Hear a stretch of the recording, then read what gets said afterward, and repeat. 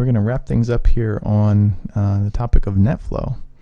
And uh, so this is our last video, and uh, we're going to discuss the basics of NetFlow monitoring. So we've done syslog monitoring, we've done SNMP, so we're now receiving information from the device about critical things that are happening. We're pulling for, you know, health statistics and environmental statistics. Uh, but what about the flow of traffic through a switch or, or a router or something like that?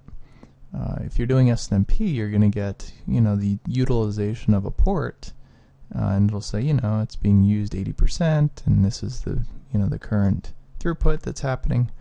But it's not really going to tell you things like the source and destination and the port, uh, byte counts, things like that. It's just going to give you a basic total. So NetFlow solves that problem. It allows you to uh, retrieve uh, that kind of data that you'd expect uh, from a more verbose report. So if you want to know, you know, uh, on a single port, you know, what what are the most common destinations and sources, you know, or what's the most common port and used or something that's being used or something like that, NetFlow will do that for you.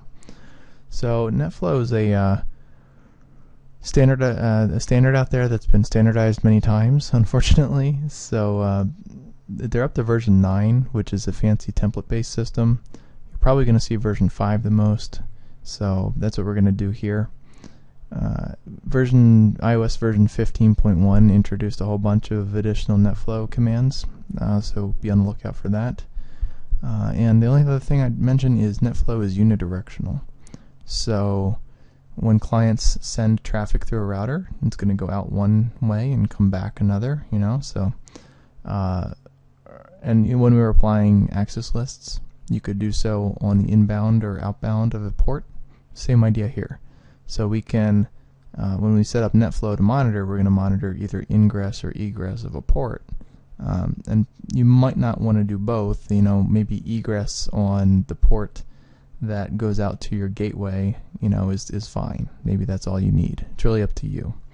So uh, that's what we're going to do here. So what we'll do is we're just, just going to drop a router in, and I'll just throw a switch in there too, so we make a real a real network. And I'll just connect this up. Good enough.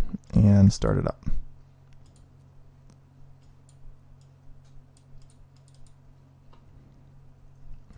That's going to boot. So what we'll do is uh, we'll just go into the one interface and uh, we'll set up NetFlow and pretend to send it to a server. So whatever collective server that's doing NetFlow data. So it's almost up. Alright, I'm going to go into show IP. I believe what what was that? Fast E zero. Okay going to go into config mode and uh, we're going to go into that fast eth. So what we need to do is basically just say IP flow and in what direction. So I want to know, I'm going to pretend fasteth0 is the port that goes out to the internet. So that's my gateway, my last port basically, the, the gateway port. Uh, so IP flow uh, egress. Well, we'll do ingress. So what's coming from the inside network into FA00 um, on its way outbound to the world. So show me the ingress info. Uh, that's basically it for the port. Uh, and then we just have to tell it where to send it to. So what server? So we're going to exit out of that, go back to global config, and then we can say all of my flows, flow export, is going to go to following destination and then I'm going to give it an IP. So I'm going to pretend 1.2 is my uh, retrieval server that's collecting, and then I have to define a port. Uh, there's a number of ports that are commonly in use, uh, 99, 2055, 9996, they're very common. So uh, we could say it's running, it's really whatever the server is running. So 2055, and what version am I going to send out? So flow export version and then you can choose 1, 5, or 9. Uh, we'll do 5 because that's the most common. And you're done. that's, that's it. That's all there is to it.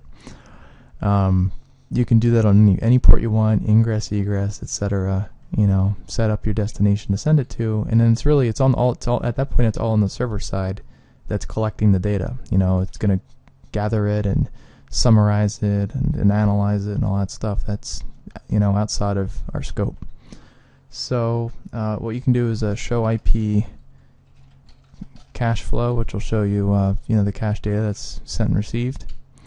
Uh, you can do uh, IP show IP flow interface, which will tell you what interfaces are set up, which really is just kind of like a show run command that they they cut up. And uh, you can do show IP flow export. So where is it being sent? You know, what are statistical information about how much stuff is being sent there, what ports in use, etc. Uh, and you could really get most of this stuff just from doing a show run. You know, we'll know our destination and our port. We'll know what uh, interface is being used. You know, you can just do that from show run, and uh, that'll give you 80% of that.